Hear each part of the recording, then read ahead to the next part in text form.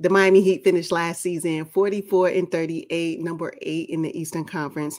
Someone said they bulldozed their way through the Bucks, the Knicks, and the Boston Celtics on their way to the NBA Finals, only to get gentlemen swept by the Denver Nuggets. Yeah. What's next for the Miami Heat? I don't know if they should run it back completely. I do believe that Jimmy Butler should remain, you know, on the on the roster, of course. But I think they need to add another star player to their roster. And unfortunately, Kyle Lowry wasn't it. The unfortunate part of Kyle Lowry is that his health didn't hold up, right? And so that was one of the things that I think stifled uh, their um, pursuit of the championship. Now, were they able to maintain and manage and get through and bulldoze? As I said that bulldoze their way straight through um, the playoffs? Yes. Who can match the dog that Jimmy Butler has? And help them along when Jimmy Butler doesn't really have it. Who who has that? Right? I thought it would be Bam, but we found out it just wasn't enough. I just think they need some. Uh, they need another piece to do something, and I think that's what they need. Yeah.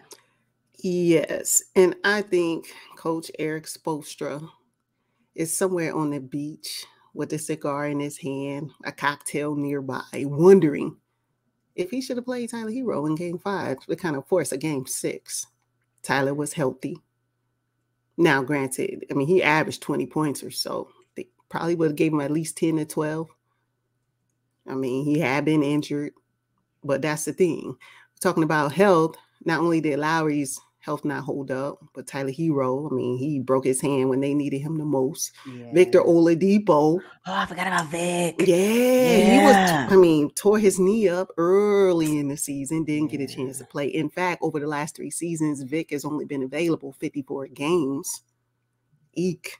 So when we talk about running it back, nah, they can't run it back like this. I agree with you. They do need another star to pick up to at least compliment Jimmy Moore you know, I thought it was going to be Bam too, but for me, Bam didn't get going until the NBA Finals, just a little bit.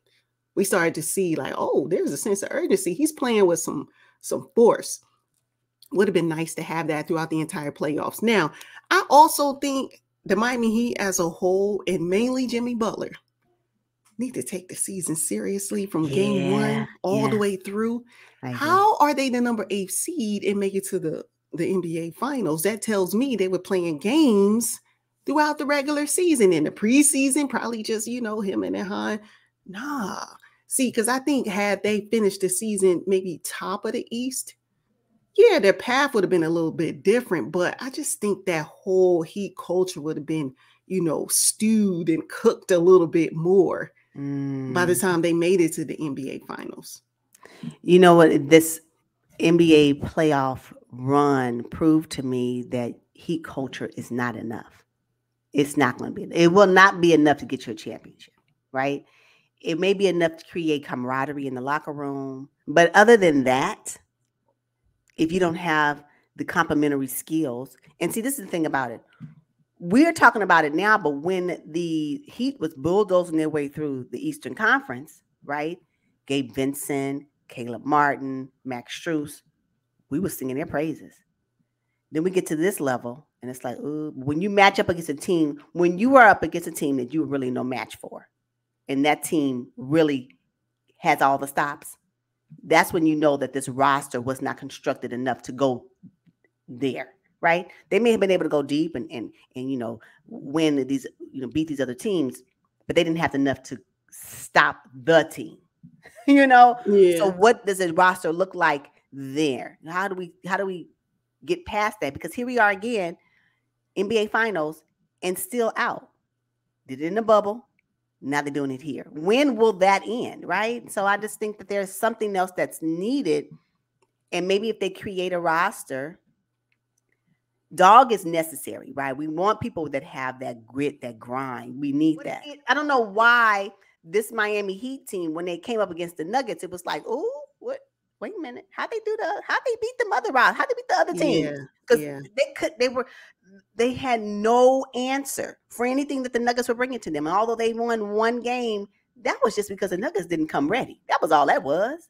So I, yeah, it's just it was it was a sad. Not sad. I mean, the Heat accomplished a lot. Don't get me wrong. AC going all the way to the finals. They did that.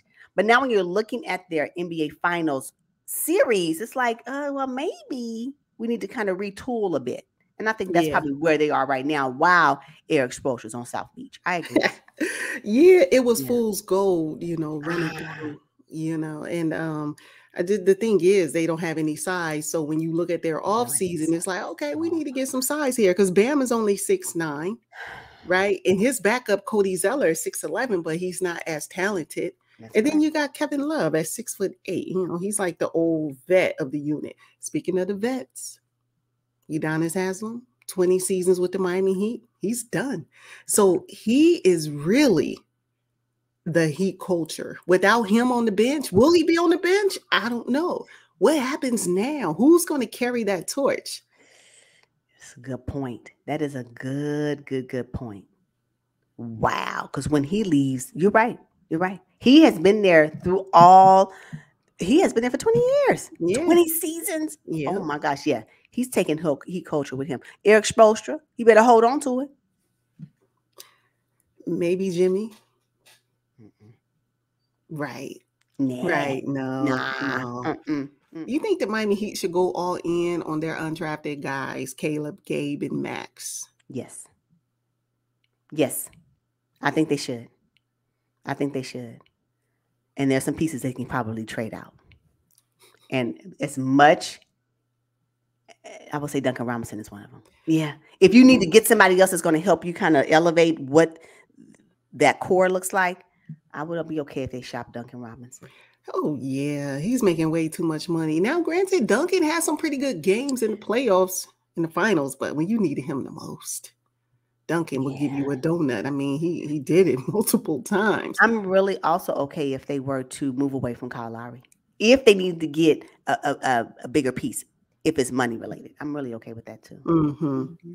Yeah, because Jimmy needs they need more depth, in other words, like that second squad. But see, I think we're we're also looking at this without considering Tyler Herro is a big piece to what they have, and we didn't really get a chance to see him. Right, on offense. Oh, yeah, that's true too. so yeah, so if Erik Spoelstra would have put Tyler Herro in on offense, what he gonna do on defense? On defense. Mm-hmm.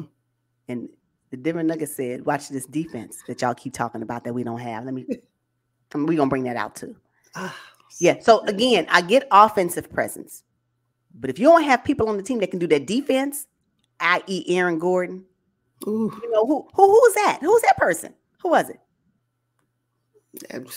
And you can't be small. I kept saying when I was watching that series, they look little. They yes. look so tiny compared to the Denver Nuggets. And mm-hmm. if you're mm-hmm. thinking about these other teams and who they'll be going up against in the Eastern Conference for the 2024 season, they're big too, right? So did the zone and also the zone, ooh, the zone, the Miami and their zone. The Nuggets said zone where? yeah, no. Uh, yeah, it's it may be time to retool the Miami Heat. Maybe not from a player perspective, but at least from a strategy perspective, from how they played the game. I don't know if that is going to be able to bring move them forward in the future. I just don't know. Yep, because we talked about them, you know, looking kind of stale. We said yeah. that for several seasons. Yeah, yeah. And now we're starting to see the results of that.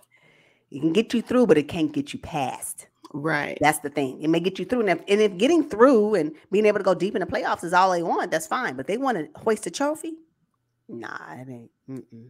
Mm-mm. Not when other pl- teams are coming in playing uh, chess you know, that Denver Nuggets run, the, the Heat look really bad. I mean, they did. They just did not look no as good as they should have. I was just like, wow. Mm-hmm.